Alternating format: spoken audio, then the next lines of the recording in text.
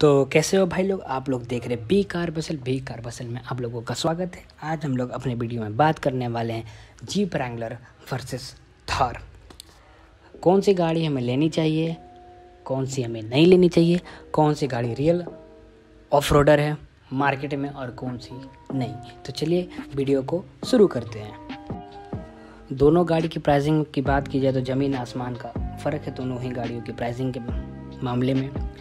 जी फ्रेंगलर हम लोगों को देखने को मिलती है fifty six point three four lakh rupees में, जो कि इसका एक शोरूम प्राइस है। वहीं हम लोग थार की बात करें तो वो हम लोगों को देखने को मिलेगी thirteen point five three lakh rupees में एक शोरूम प्राइस इंडिया के हिसाब से।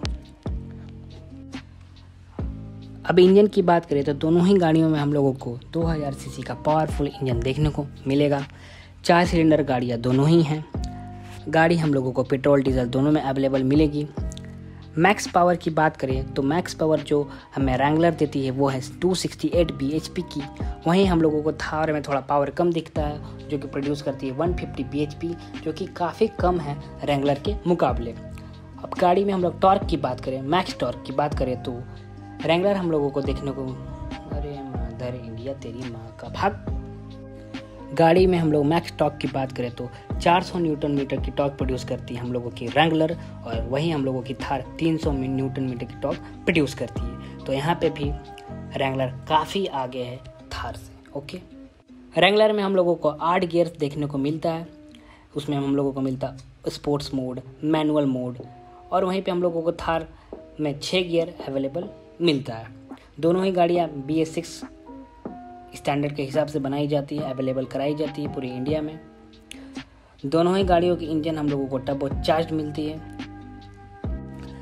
दोनों गाड़ियों की अब हम लोग डायमेंशन एंड वेट के बारे में बात करेंगे। तो चलिए शुरू करते हैं।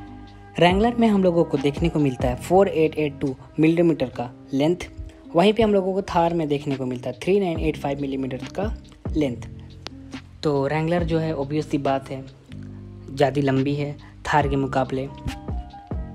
जहाँ तक गाड़ी की चौड़ाइयों में बात की जाए तो दोनों गाड़ियों की चौड़ाइयाँ ऑलमोस्ट सेम है, थोड़ा थोड़ा का डिफरेंस है दोनों में। अब गाड़ी की हाइट की बात करें तो जो थार है वो रैंगलर से थोड़ी ऊँची है हाइट के मामले में। क्योंकि हम लोगों को थार मिलती है 1920 मिलीमीटर mm की हाइट में, वहीं पे रैंगलर हम लोगों को मिलती है 1838 मिलीमीटर mm की हाइट में। व्हील बेस की बात करें तो रैंगलर का जो व्हील बेस है वो है तीन हज़ार आठ मिलीमीटर्स। वहीं पे थार का जो व्हील बेस है वो है चौबीस सौ पचास मिलीमीटर्स का। यहाँ पे भी जो रेंगलर है, काफ़ी आगे है थार से। ग्राउंड क्लियरेंस के बारे में बात करें तो दोनों को, दोनों ही गाड़ियों का ग्राउंड क्लियरेंस ऑलमोस्ट सेम है। ज़्यादा डिफरेंस दोनों गाड़ियों में नहीं है।